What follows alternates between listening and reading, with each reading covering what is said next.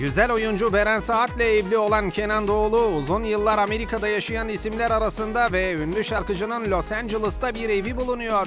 Çok güzel, şahane. Şans